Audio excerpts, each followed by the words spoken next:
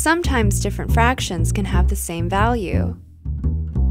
4 eighths, 2 fourths, 1 half.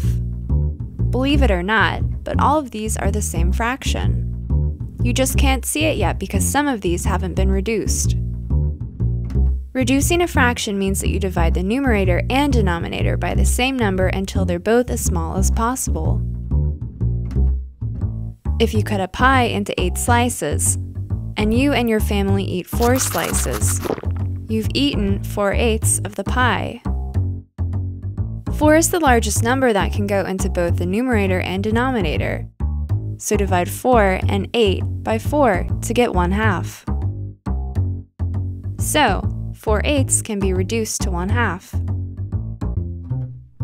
Likewise, if you cut a pie into 4 slices, and you give 2 slices to your neighbor, you have 2 fourths of the pie left. 2 is the largest number that can go into both the numerator and denominator, so divide 2 and 4 by 2 to get 1 half. Just like 4 eighths, 2 fourths can be reduced to 1 half. They can both be reduced to 1 half because all three fractions have the same value. And these are the basics of reducing fractions.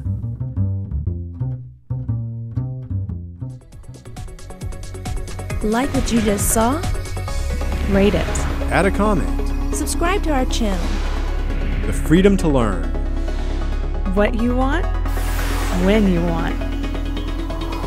Absolutely free. GCF learnfree.org.